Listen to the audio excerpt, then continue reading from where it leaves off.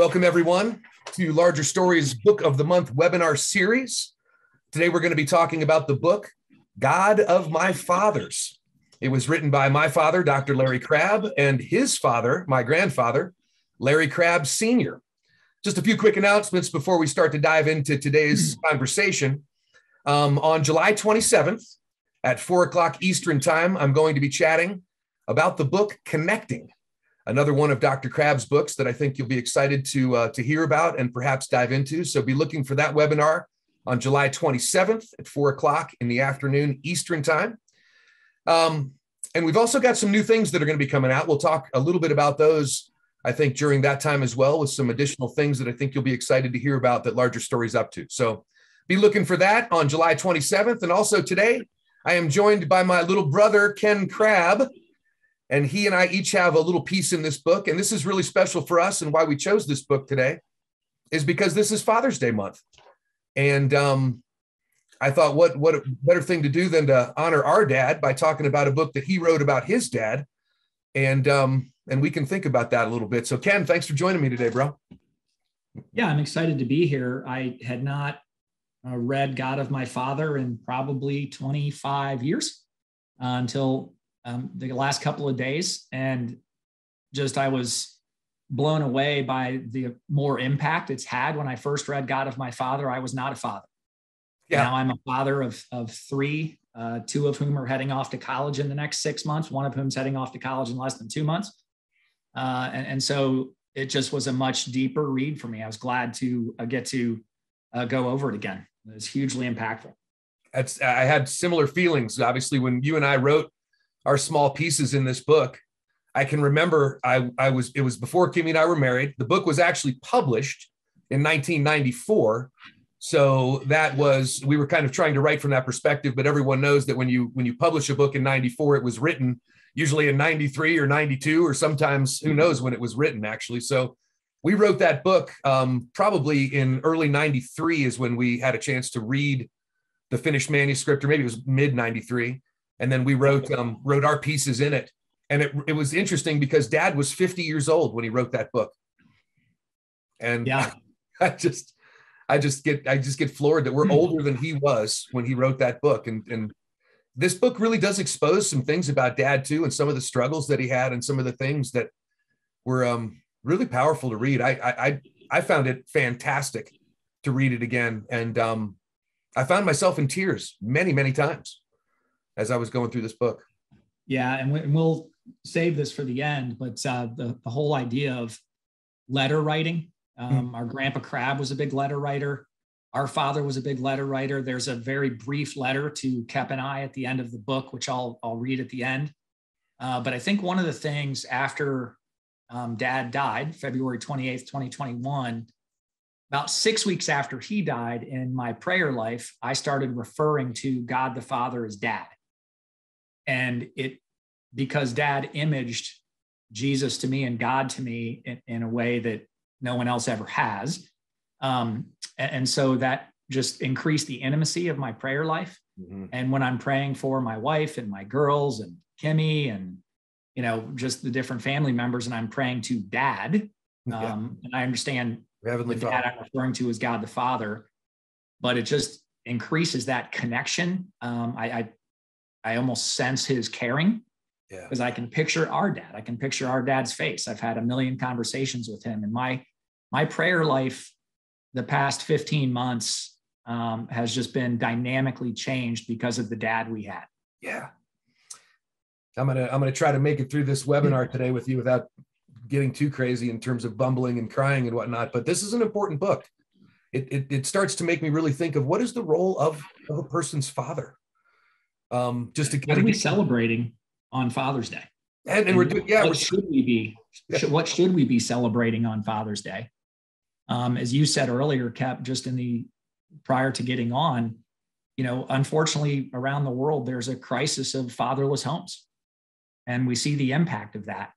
And um, we did not have a fatherless home, and I have so many Christian friends that are guys, you know, our age. They're in their 50s, mid 50s, and they're saying, "Man, I'm so envious of the upbringing you had, how your dad taught you the Bible, how your dad just leaned in and was so intentional and and wrote all those letters. No doubt. Um, I didn't have a dad like that, and and my response is, well, be a dad like that. Yeah, right.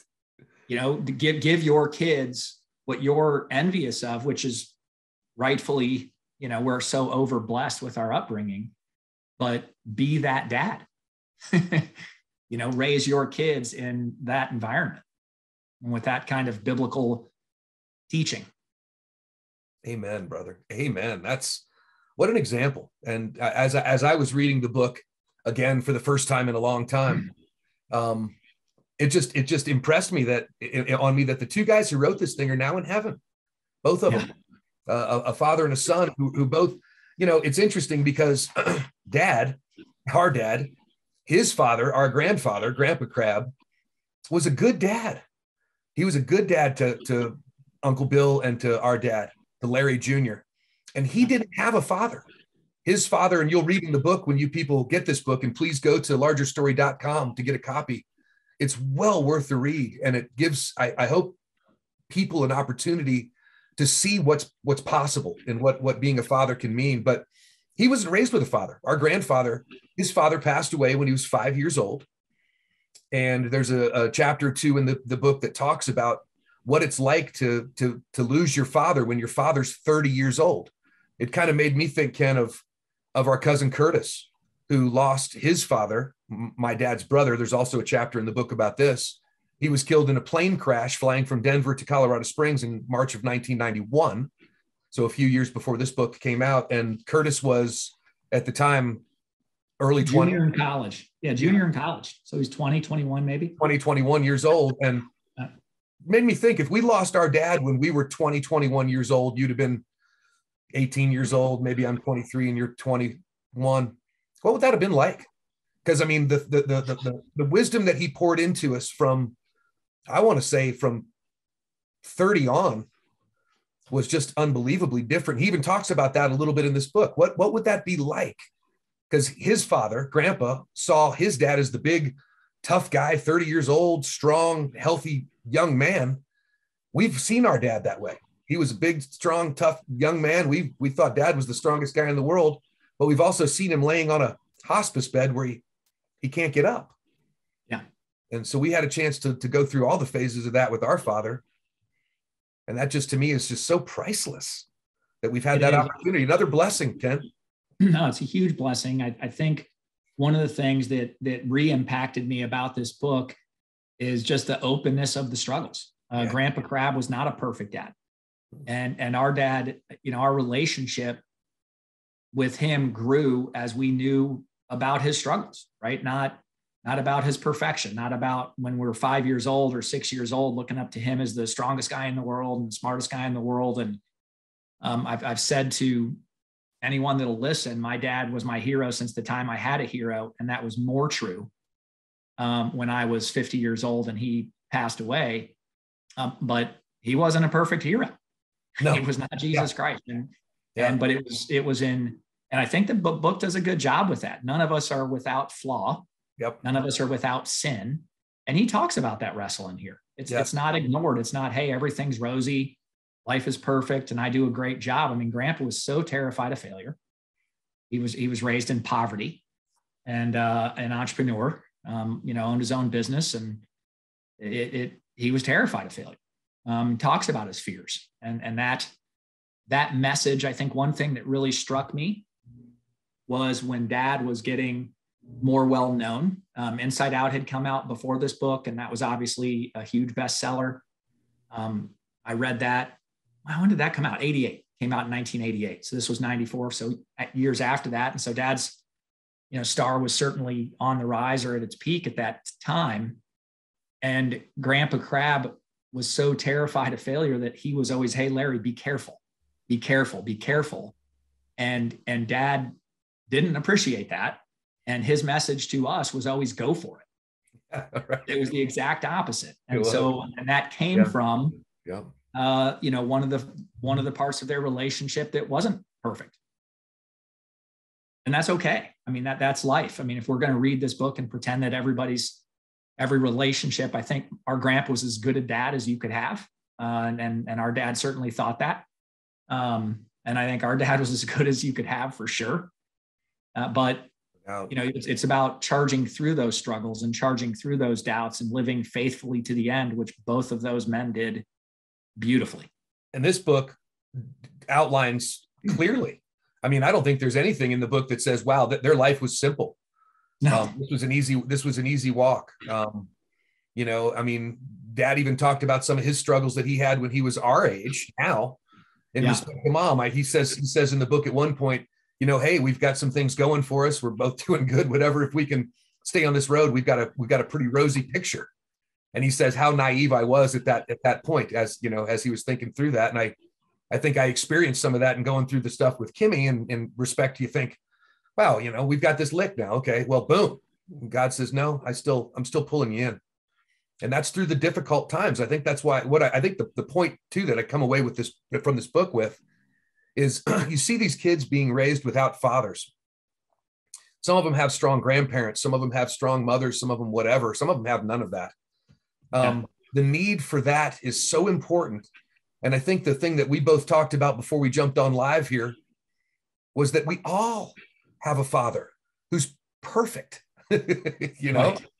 And and that's the thing to embrace and to understand that. So grandpa did that and understanding that, you know, I mean, uh, there's there's a there's a letter in the book that I'll read a little bit of it here in a moment that that is is our grandfather writing a letter to his father who he didn't know uh, from from age five on in his life. And i don't know how many of us look back on age zero to five and think that that was such a huge piece of life in terms of knowing things. So he didn't know his father very well but he remembered him he remembered him a little bit and he remembered his legacy. And one of the things that stood out in the book too that just I just am reminded of is dad was in the introduction he talks about when grandpa passed away and I was actually with grandpa. That was the only person I've been with that I, have seen go and take their last breath. Um, he found a spiral notebook that grandpa had and they called him the midnight yeah. ramblings you remember that? Yep sure grandpa, said, grandpa says just four things real quickly here. I'll just read him. He says my most severe trial of faith has long been my mother's poverty watching his mother s- struggle, I think was very difficult for grandpa. I can only imagine that. We've seen a little bit of that with our mom. Um, how I wish I could have known my father. Oh. I feel I've made such little contribution. And this is the one that gets me. Will I be missed when I die? And then the last one, if only I could express what I feel toward my wife and sons. What, what a legacy we come from, bro. Yeah, I still think about Grandpa Crabb. I mean, maybe not every day, but probably close to every day, if it's not every day. Yeah. And it, it was, again, to another non perfection. Uh, Grandpa really didn't feel like he had a leadership role, and he, because he had an eighth grade education. Yeah. He, he was a, probably the equivalent of a PhD in English literature. He was one of the best read um, people Certainly you'll theology on the planet. And I think one of my favorite memories uh, of our dad and also of grandpa is they would sit on wingback chairs in any house we were in next to each other for hours with their Bibles open. Oh. And they did that in front of a fireplace. I can't count the number of times oh. I saw Many. grandpa and dad sitting on wingback chairs with their Bibles open. And I don't think, I mean, can you imagine if if one of the best things you did as a father is your kids just saw you reading the Bible all the time. Yeah, right. I mean that that that means something. I, I remember saying to dad, and and dad did the same thing. Uh, and this story's in the book, but one of their favorite uh, radio programs was Red Skelton. Yep. And Grandpa was sitting in front of the fireplace with his Bible open, and Dad was maybe twelve, and he went in and said, "Hey, Dad, let's go watch Red Skelton." And Grandpa was in Leviticus and he said, Oh, no, Larry, I can't. I'm really into something right here, right now. And that created a whole, as Chris said earlier in the intro, a holy curiosity. He's like, What in the world? In this 12 year old boy, he's going, What in the world could possibly be in Leviticus that is going to be more entertaining than Red Skelton on the radio? It was actually on the TV. It was one of those little black and white, you know, with the, uh, the rabbit ears antennas. I think I remember the TV well because I think they, yeah, yeah, I do. the only one they had. You know, it's interesting when you start talking about that, bro, because one of the things that I, I made a comment of in my notes as I was reading through this and reading all of Grandpa's pieces in the book is how much scripture he puts in his writing. Oh, it's yeah. just loaded with passages. He's in yeah. Isaiah, he's in Psalms, he's in the New Testament, he's all over the place talking about scripture. And it's like, wow, the love he had for the word was passed on to our father, and our father did pass that on to us. I remember dad saying to me one time, I have to read the Bible like I have to breathe. Yeah. And I remember looking at him like, what? What are you talking about? And I think I understand that a little bit mm-hmm. more now. I'm starting to understand dad in a in a way that I didn't understand him when he was alive that I wish I did. And you, you can't do that without having your Bible open a lot. I mean, one of my favorite things and my favorite preacher of all time and Bible teacher is uh, Dr. Larry Crabb. Um, ugh. Yeah. Uh, you go ahead. I'll, I'll, finish my thought. Okay, I got it. I'm back. Um, and dad would sit up there and anytime he'd preach, he'd come up with these different passages or different excerpts of the Bible. And he's like, well, that like when you're in Isaiah, and if you remember, you know, Jonah and Second Kings, and of course he prophesied growth, which he was, and he just jumps all over the Bible like no Bible teacher I ever heard. It was just incredible. He could he could link every book together, and I think it was it was both your wife and mine, Kimmy and Leslie, that heard him preach, and he did that with about 17 different passages in a five minute stretch and, and we were at lunch and they said, how do you do that? And he, and it was, he's immersed I, himself. I, I spend about four or five hours every single day reading the Bible. I think I look at our grandfather in respect to this book, and this was a book that really talks about a son's reflection. And what what did what did what did they pass on? What what have they left us now that the dad and grandpa aren't here? And you start to think about that. And I love the, the, the question that he asks is, "Will I be missed when I die?" There's actually there's actually a chapter in there, a chapter of that book that talks about about that. And I look at what Dad's done, and I miss him every day. Every day. But so many other people do too, because he was so impacting. It was so good. It was it's it's the kind of father that that I want to be. I know you want to be, and I look at our grandpa and I, I think you can you can hear it in the, in the book all the way through. What a hard working servant of Jesus. Yeah. Yeah. Yeah. He was committed to displaying Christ to others and he was committed to the word. I think the the greatest legacy that he left um, our dad was his love for the word of God. And, yeah. and that, that has an impact on eternity that can never be changed. And I think that, I mean, it's, it's just so powerful. I get up, I'm in a Saturday morning Bible study here and my, and it's very early on Saturday. And I usually get back before my teenage girls are even out of bed, of course, but they do wonder. They're like, oh my gosh, dad, we went and saw Top Gun Maverick Friday. We got home late and, you know, and you're getting up early to go to the Bible study. And that's a really healthy thing for my kids to see. Yeah. Um, I want to, I want to get up early and go study the Bible. I I I love the example. And I, I look at our kids and the example that they're getting from us and the example that we've gotten from dad and the example that he got from his his father, our grandfather. And I just hope I'm living up to some of that. Yeah, I think the book was really encouraging for me because we're all aware of our failures uh, we may not admit them openly, yeah. but I mean, I I've got shortcomings out the wazoo, uh, and and so did Larry Senior and Larry Junior, and they battled through. I think one of my favorite dad stories was my friend Craig Matheson, and Kep, you know the story well, of course, but he said to dad 13 days before he went to see Jesus, he said, Larry, what has become more clear in your journey in your relationship with Jesus Christ as you near heaven's gate and did not break a second, said, We live by faith, not by sight. And then teared up and said, Can you imagine? I'm not going to be living by faith soon. I'll be seeing Jesus. Yeah. Wow. Yeah, yeah it's just it's just such a legacy, such an important book. I'm so grateful for it. I do want to read. I talked to you, you all that are listening now, that my grandfather, his father passed away when he was five years old. When he turned 80 years old, he wrote his his father. He called him Papa. He wrote him a letter. This is in the book, and I'm not going to read the whole letter. And Ken will actually spend a little time reading a letter that our father wrote to us. That's in the back of the book.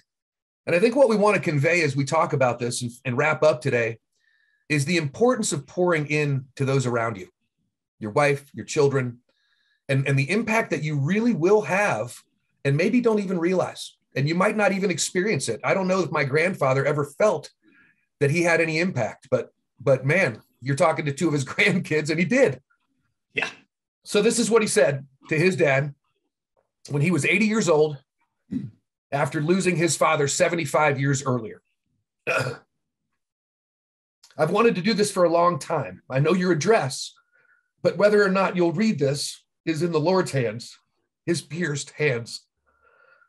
How fantastic it must be to be with the one who loved you and gave himself for you. When you left us with hush, God is in it. There were mother and four children, and we five, now Mabes, his sister Mabel, and I are the only ones left on earth. The family has expanded. Cecil had a boy. I had two boys. You've already met Bill. Oh. Helen had a boy, and Mabel had two girls. I always think I have two families the family which I was born into, and the family that began when Isabel said yes. Mother told us of the time you introduced her to some friends with, I know you'll like her. I do. I can't wait to introduce you to Isabel. You'll like her. I do. He goes on to talk about the fact that his dad would be 106 years old when he wrote this letter. He pictures his dad behind a desk as a handsome 30 year old sitting there in a wide armed chair with his mother, a woman standing behind him with both her hands on his shoulders and a smile on her face that says, This is my man. Grandpa took care of his mother until she died. She was a blind woman who used to pray for them like crazy. But that's the legacy that Ken and I come from. And he's going to read you a passage in the book now of a letter that dad wrote us in this book. So, yeah, I think one interesting point before I read this letter um, is, is our dad lived long enough to where earlier on in his ministry, he was very concerned about his impact and feeling his impact. He really got over that. I remember the last sermon he preached at Cornerstone Bible Church uh, in Ohio. He finished doing two services there and came to the door. And I said, How do you think it went? And he said, I don't care. It's up to the Holy Spirit now. I'm hungry. Let's go get a hamburger. so, so he, uh, and and earlier on in his uh, ministry, he would go in the men's bathroom and hide out in the stall to hear what people would really say and he didn't really he didn't worry about that toward the end of his life. Uh, but this was a letter, and I may struggle, Kep, so you can pick up um, where I get off. Yeah, uh, I'm on page 165. Yep. Dear Kep and Ken, I've never told you. Oh man, I may not have a chance here. I, met, I never told you completely how much you mean to me because I can't. As my dad would say, the deepest bonds cannot be expressed in words. Through your mother, I have passed the miracle of life onto you. You are both fully individuals, unique and separate, but you are also extensions of the life that my father passed on to me and his father to him. I remember as if it were yesterday, staring at each of you in your cribs, many times crying. I would kneel with tears of love and joy and hope pouring down my cheeks. I would lay my hand on you and pray, God, make them yours. Remove the deception. Let them see how good you are. Give them your life, and may they give their lives to you. I've been so scared. Sometimes my fears overcame my love and I lashed out. I demanded of you things that must come from your own desires and choices. I couldn't bear the thought of Satan winning. winning in your lives. I was wrong yeah. to be so controlled by fear. God told me to rest, to trust Him, and to believe in you. Instead, I sometimes took matters into my own hands, forgetting that only love, never pressure, draws people to God. Forgive me and don't let me get in the way. In your late teens and early 20s, I spent many nights in my study until the early morning, praying with more passion than I can describe. On so many occasions, my words over and over were, Lord, give me my boys. Let me enjoy them as godly men. I trembled before God, praying until I was too exhausted to say another word. I never heard God speak to me, but several times I sensed him smiling and saying, Trust me. I sense that when I pray. Yeah. I fear I've given you the impression that godly living can be a rather joyless struggle. With all my heart, I wish I knew more of the joy that I'm convinced God intends us to know. My life has been and still is a battle. More than once, I've come close to quitting. Personal failures can seem overwhelming. Deep pain that I cannot explain is sometimes too much but I can't quit. He never did. Nope. I've tasted his grace. Every time I fail, I sense he is saying that he's not through with me. He forgives me and wants me to get up and get back on the path. And the pain, even at its worst, has never overcome my hope. I know that living now for Christ is worthwhile, despite the struggles, and that a better day, a fantastic day is coming. Yeah. It's probably too long to finish for this, but let me just get you to the last paragraph here. Um, but it's it's definitely worth reading and, and writing something like this to your kids. Oh, there are no two men whom I love more than you two. Yeah. Complete my joy by committing your lives to telling his story. Let your minds imagine the scene of your grandparents in mind and theirs before them gathering for a huge family reunion. Your Uncle Bill will grab his guitar. He'll play it better then. Mother and I will smile at each other as we've never smiled before. Leslie and Kimmy Leslie and Kimmy will be laughing and singing, and then we'll become quiet. The Lord will step into the middle of the circle and invite each of you to tell the story of how you live for Him on earth. You'll both burst with humble joy as you reflect on your decisions that honored the Savior. You'll slap each other on the back with excitement over how your lives counted. Yes. And when you finish your tale, the Lord will smile with a tenderness that will forever amaze us all. Will embrace you and say, Well done, it's time for the party. Can you imagine watching my father dance? in ways that not even he understands the best is yet to come. Kep, I love you, live for Christ. And I love you, live for Christ. Dad. Woo! No impact. Those kind of things matter, people. And um, you have the chance to matter. And I, I asked myself this the book did two things for me. It says how much I miss dad and miss grandpa.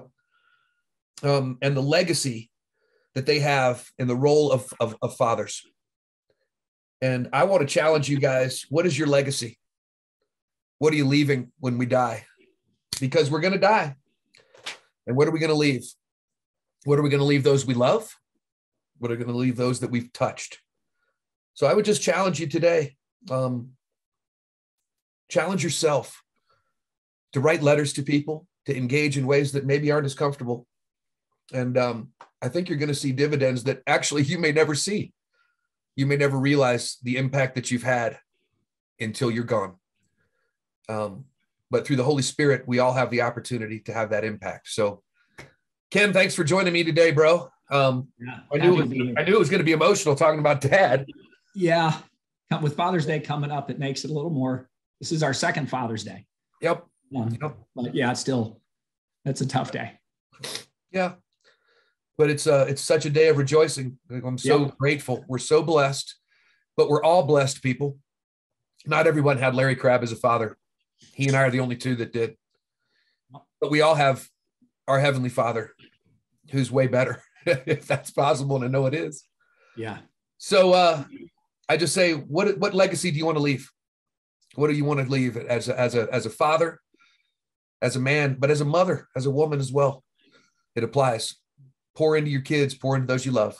Thanks, guys, for joining us. We'll see you on July 27th, and we'll be chatting through the book Connecting. Have a happy Father's Day. God bless y'all. God bless.